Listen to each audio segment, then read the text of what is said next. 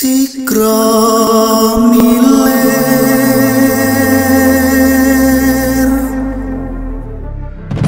Kulon pun Sigro Milir kembali hadir. Apa kabar? Semoga selalu sehat. Dalam video ini saya ingin mengajak sederet sekalian wisata sejarah mengenal lebih dekat masa muda Sultan Agung Hanyokrokusumo. Sultan Agung Hanyokrokusumo adalah Raja Kesultanan Mataram yang memerintah pada tahun 1613 hingga 1645. Nama aslinya adalah Raden Mas Jatmiko atau terkenal pula dengan sebutan Raden Mas Rangsang. Sultan Agung merupakan putra dari pasangan Raden Mas Jolang atau Prabu Hanyokrowati dengan Gusti Ratu Diah Banowati. Sultan Agung kecil sudah terpisah dengan ayah dan ibunya. Beliau dikirim oleh Raden Mas Jolang untuk nyantri di Padepokan Jajaran sejak usia 10 tahun. Adalah Ki Jejer yang mendidik Raden Mas Rangsang sejak kecil hingga remaja. Banyak sekali ilmu pengetahuan yang diajarkan di Padepokan Jajaran, salah satunya adalah ilmu kanuragan. Suatu ketika Raden Mas Rangsang olah kanuragan dengan cantrik lainnya adalah Klono, salah satu cantrik yang mengetahui siapa sebenarnya Raden Mas Rangsang. Karena tahu kalau Raden Mas Rangsang putra Prabu Hanyokrowati, jadi dia seakan-akan tidak membalas setiap serangan Raden Mas Rangsang, hingga pada akhirnya Raden Mas Rangsang menjadi geram dan menantang siapa lagi yang mau olah kanuragan dengan beliau. Tidak disangka muncul seseorang menggunakan topeng menyerang Raden Mas Rangsang. Sontak beliau terkejut. Ki Jejer yang sudah mengetahui siapa orang di balik topeng tersebut membiarkan perkelahian itu berlangsung.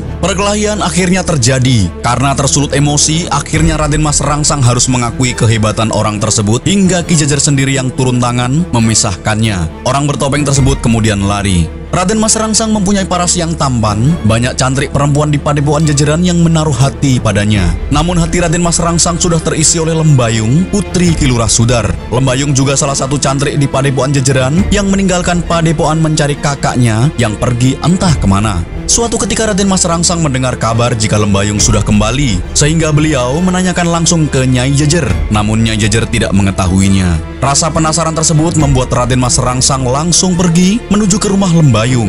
Klono yang mengetahui putra junjungannya itu pergi seperti tergesa-gesa, lalu mengikutinya. Sementara itu di rumah Kilurah Sudar kedatangan orang-orang dari Berangwetan yang ingin mengungsi. Belum juga Kilurah Sudar menjawab orang-orang dari Berangwetan tersebut, datanglah Randu teman baik Seto, kakak Lembayung putri dari Kilurah Sudar itu sendiri. Baik Randu maupun Seto juga merupakan murid dari Ki Jejer. Randu menuduh Kilurah Sudar melindungi mata-mata, sehingga terjadi perdebatan antara Kilurah Sudar dengan Randu dan teman-temannya. Situasi semakin memanas, lalu muncul orang bertopeng yang pada saat olah kanuragan di Padepokan Jejeran sempat berduel dengan Raden Mas Rangsa orang tersebut menantang Randu. Akhirnya terjadi perkelahian antara orang bertopeng itu dengan Randu dan teman-temannya. Hingga pada suatu kesempatan pukulan Randu mengenai topeng itu dan terjatuh. Alangkah terkejutnya Randu dan orang-orang di situ karena wajah di balik topeng itu adalah Lembayung. Raden Mas Rangsang yang menyaksikan sejak awal kedatangan pengungsi tersebut dari balik dedaunan tidak kalah terkejut melihat orang bertopeng itu adalah Lembayung. Randu yang tahu kalau itu Lembayung semakin marah karena merasa Lembayung tidak di pihaknya. Perkelahian akhirnya terjadi lagi. Kali ini Raden Mas Rangsang tidak tinggal diam. Beliau ditemani Klono membantu Lembayung. Tidak lama kemudian Ki Jejer datang memisahkan mereka. Ki Jejer marah kepada Randu dan teman-temannya. Beliau menegaskan kalau orang-orang yang datang tersebut bukanlah mata-mata melainkan rakyat jelata. Orang-orang itu lalu dibawa oleh Ki Jejer untuk tinggal di padepokan Jejeran. Beliau yang sejak awal sudah mengetahui kalau itu Lembayung kemudian menemuinya dan memberikan sedikit nasihat. Sekian lama berpisah, akhirnya bertemu kembali. Dalam suatu kesempatan, Raden Mas Rangsang dan Lembayung melepas kerinduan. Lembayung menceritakan perjalanannya mencari Seto kakak kandungnya. Raden Mas Rangsang Sang menenangkan hati Lembayung agar ikhlas melepas kepergian Seto kakaknya jika memang sudah meninggal. Suatu ketika pada Dewan jajaran kedatangan Tomenggung Mandurorjo, beliau diutus untuk menjemput Raden Mas Rangsang. Raden Mas Rangsang menuju ke Mataram dan sesampainya di sana disambut oleh Ki Juru Martani. Ki Juru Martani adalah sesepuh sekaligus salah satu pendiri Mataram.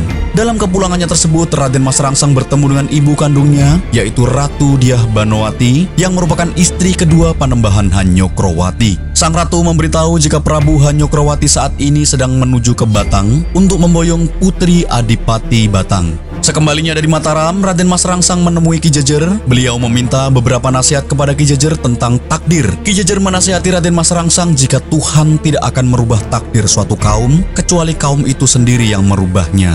Keesokan harinya, terlihat Lembayung sedang berburu. Saat anak panah mau dilesatkan ke hewan buruannya, tiba-tiba dicegah oleh Raden Mas Rangsang. Melihat Raden Mas Rangsang datang, Lembayung langsung bersimpuh dan menyembah. Tentu saja Raden Mas Rangsang terkejut. Kenapa Lembayung bisa tahu kalau dirinya adalah putra Mataram? Kemudian Lembayung bercerita bahwa secara tidak sengaja dia mendengarkan pembicaraan Ki Jejer dengan Raden Mas Rangsang malam itu saat beliau menemui Ki Jejer menanyakan tentang takdir. Dalam pembicaraan itu Lembayung bisa menyimpulkan jika Raden Mas Rangsang bukan rakyat biasa, melainkan seorang pangeran.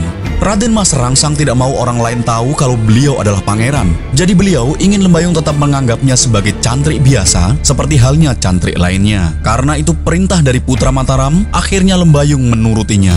Namun tidak berlangsung lama, Padepokan Jajaran kembali kedatangan tamu dari Mataram. Kali ini Pangeran Juminah ditemani Tumenggung Noto Projo dan beberapa prajurit kerajaan ingin bertemu langsung dengan Raden Mas Rangsang. Ternyata menyampaikan berita duka bahwa Panembahan Hanyokrowati Sedo. Alangkah terkejutnya Raden Mas Rangsang. Lalu beliau menuju seekor kuda dan memacu kuda tersebut menuju Mataram. Pangeran Juminah dan petinggi kerajaan lainnya pamit pulang kepada Ki Jejer. Ki Jejer menyampaikan kepada para cantrik jika Prabu Hanyokrowati telah wafat. Para cantrik semakin terkejut jika Raden Mas Rangsang yang selama ini nyantrik bersama mereka adalah putra dari Panembahan Hanyokrowati. Setelah Prabu Hanyokrowati wafat, Mataram menjadi tidak karuan. Akhirnya Ki Juru Martani menemui Raden Mas Rangsang untuk menjadi raja pengganti Prabu Hanyokrowati. Ki Juru Martani meyakinkan Raden Mas Rangsang jika keinginannya agar Raden Mas Rangsang naik tahta menggantikan Prabu Hanyokrowati adalah wasiat Prabu Hanyokrowati itu sendiri dan wasiat tersebut sudah mendapatkan restu dari Kanjeng Sunan Kalijogo. Sebenarnya yang paling berhak memimpin Mataram setelah Prabu Hanyokrowati adalah Pangeran Martopuro, putra dari Gusti Ratu Tulung Ayu, istri pertama Prabu Hanyokrowati. Namun Pangeran Martopuro terlahir tidak sempurna untuk memimpin sebuah kerajaan besar, sehingga demi kejayaan Mataram maka Ki Juru Martani menunjuk Raden Mas Rangsang. Sebelum wafat dalam sebuah surat wasiat Prabu Hanyokrowati dawuh, Ingsun panembahan Hanyokrowati paring dawuh marang putra Ingsun Raden Mas Rangsang, supaya nglintri keprabon jumeneng noto kang sinebutan asesilih susu dan agung Hanyokro Kusumo. Lan ingsun uga ngersakake putraku sambut jilaning akrami karo putrine Adipati Batang kang sak mengkune bakal jumeneng garwa pati kang sinebutan Kanjeng Ratu Kencono. Raden Mas Rangsang kemudian dinobatkan menjadi Raja Mataram menggantikan Prabu Hanyokrowati dan bergelar Susuhunan Agung Hanyokro Kusumo. Demikian sejarah singkat masa muda Sultan Agung Hanyokrokusumo. Semoga bermanfaat. Mohon maaf jika ada kesalahan saya dalam menyampaikan informasi. Saya undur diri. Sampai ketemu kali lain. Matur nuwun.